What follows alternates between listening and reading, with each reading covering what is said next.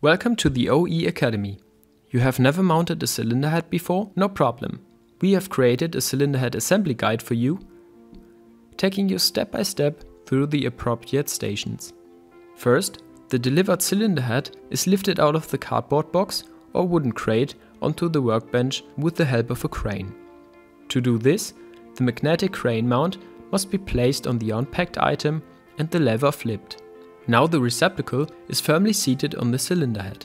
Now the crane receptacle is moved upwards by means of the upper part of the switch. On the operating element, the crane arm is swiveled to the workbench and the workpiece is lowered. The lever must now be flipped again to release the workpiece from the crane pickup. Later, at the customer's side, each cylinder head must be clearly identifiable. To this end, each machinist marks the workpiece with his initials and the assembly number of the cylinder head using punch numbers.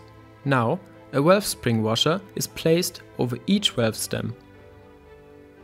Valve stem seals are applied to each valve stem, given a few drops of oil, and secured using a nut.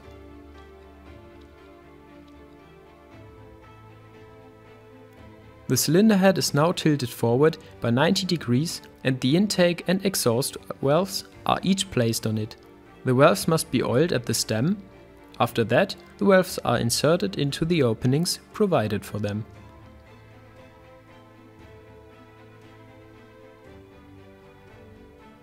The cylinder head is now turned back to its original position. Depending on the cylinder head type, one or two valve springs are used. If two valve springs are used, a valve inner spring is first fitted over each of the valve stems and then a valve outer spring. The valve inner spring is smaller than the valve outer spring. Attention!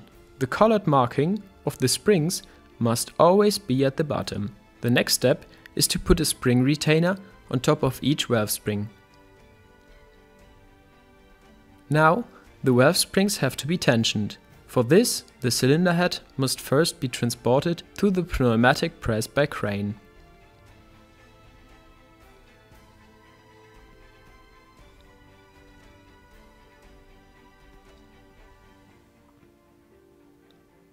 The arm of the pneumatic press must now be placed over the spring plate of the first valve spring.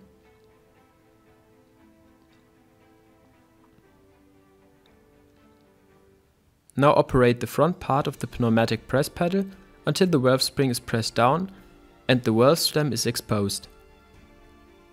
With the aid of a magnetic rod and tweezers, the two locking wedges are now placed in the grooves on the valve stem on both sides. The arm of the press is now raised again with the rear part of the pedal. The spring relaxes until it is blocked by the locking wedges. Below, this process is repeated for the remaining valve springs. For the leak test of the valves, the attachment of a vacuum test device must be placed sealingly on the inlet opening. The test device is switched on and now generates a negative pressure. When a negative pressure of 550 to 750 millibar has been reached, the valves are tight and the test has been successfully completed. The cylinder head is now fully assembled. Now it still has to be packed. To do this, the finished cylinder head is transported by crane to a wooden crate.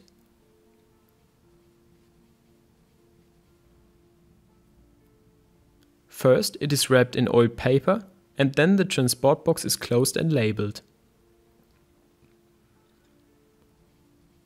Congratulations! You have mounted your first cylinder head.